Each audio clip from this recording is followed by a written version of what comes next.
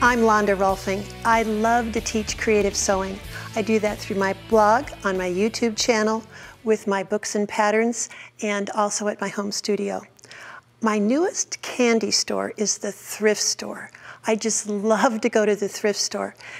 Let me show you some of the things I've created lately using sweaters. Come back here and look at these with me. Here we have a man's sweater and the rust sweater and the brown sweater. So three sweaters. Obviously this heathery sweater has become the main part of the garment. I took the neckband of this garment and put it down here at the center front. I took the lower ribbing of the brown sweater and made it be the neckline. And I took the neckline of the brown sweater and made it just be this back neck. And then the vertical cable, cabling that was on the brown sweater became the horizontal back yoke. And then that rust sweater, it was wool. So I threw it in the washer and dryer to make it felt. It became very compact so that I could cut it in narrow strips. Then on top of that, I couched some yarn. In fact, this is the wrong side of the sweater. I also repeated this rust color in the cuffs, and to give the lower silhouette of this garment some more shape, I put in some godets. I actually worked very hard to stretch out the bottom of this main sweater so that it really had a little bit of flare. The other thing design-wise I want to teach you is, do you see how this boucle cream-colored yarn just helps your eye travel all over the garment? I'll show you later how I couch that down. This is what I call a memento garment. This um, sweater belonged to my late brother. Another memento garment is this one. This is a sweater. It was a horizontal striped chenille sweater that belonged to my daddy. Again, this was the lower ribbing of the sweater. This is a horizontal striped sweater. I also had this burgundy colored chenille top that I was just too hot in. So this is actually a garment that looks like an underpiece and an over piece, but it's actually just one piece. I've got two layers in the front, but just one in the back. Here you have one of my sweatshirt jackets. This part is a sweatshirt. This is, again, the wrong side of this sweater.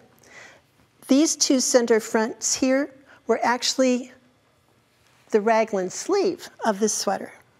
And then I have a mauve colored sweater. The lower ribbing again became the neckline. And you can see how I tucked it in at the back. Once again, what is it that pulls it all together? It's the yarn that I couched down. I twisted a green yarn and a mauve yarn together, zigzagged over them with a clear thread. And then I have a focal point being this button. When you're combining one fabric with another, and usually the one that's the knit, you really need to stabilize it so that it doesn't stretch out of shape. So I hope you're now inspired. Let me give you some more how-tos. When you're looking at sweaters and it's time to start to cut them apart, always, always, always cut the parts too big. You have to have a seam allowance to sew it on with. So you'll want to take, if I was cutting off this neck ribbing, I would not cut it real close. I would cut it leaving a generous seam allowance. And I don't throw any parts of the sweater away until I'm completely done.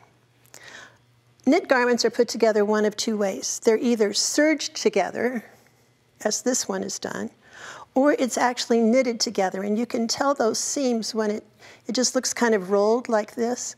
Then you can really just get in here and cut them apart. If it's serged together, you're just going to cut on one side of the seam or the other. It's amazing to me how you can boss knits around. Look what I did with the lower ribbing of this sweater. It was just this big, and this was its natural shape. But when I attacked it with my steam iron, pinned it to this board and really blocked it into shape, you can see that now it's much longer. So I could do something completely different with it. Some tools that you'll want to be sure to use. I find that size 90 um, stretch needle is the one that's perfect for going through the heaviness of sweaters. A walking foot, that will help things not stretch out at your sewing machine. I was talking about couching down the yarns. I like to use monofilament thread in my needle and in my needle only. Lower your upper tension just a little bit, Set it on a zigzag of about three long and just as wide as you need to go over the yarns. So you'll just lay the yarn down on top and zigzag over it and it'll look like it's just floating on top. If you do creative sewing, I give you complete permission to have a stash. You have to have a stash of everything, including buttons. I organize my buttons by color. And the other thing I really want to draw your attention to is to always look at the reverse side of buttons. Do you see how this one is a totally different color on the back than it is on the front? Here's that stabilizing tape. This is straight grain stabilizing tape. So I will put that on the knit part of what I'm joining together so that it doesn't stretch out of shape. With those few hints, I think you'll have a good time sewing with sweaters, recycling them. I especially like to use garments from people from my family. It makes really special pieces. The next thing I'm going to show you is a wonderful way of setting in sleeves using only six pins. Years ago, I went to a European factory trained seamstress begging her to teach me how to set in a sleeve. I had tried everything, ease-stitching, steaming, sleeve side down, nothing to me worked good enough. And she said, Londa, it's all in the fingers. I'm gonna show you what she taught me, which is the only way that I have set in sleeves for 47 years. So come look close. The first thing you need to realize is you need to mark things very carefully. There are dots and there are notches. A single notch in the back, a double notch in the back, both on the garment and on the sleeve. But one thing a lot of people forget is those dots. The dots on the sleeve and the front and back are equally important to match. And then if it's a dropped yoke or something, you do want to mark where the top of the sleeve joins into the armscye. With all of those things marked in six pins, one pin at the bottom of the armhole, one pin at the top, one pin at each of the dots, and one pin at each of the notches. To save time, I have sewn around, starting here at this notch, around past the other notch and up to the dot. In that distance, there really is no easing that happens.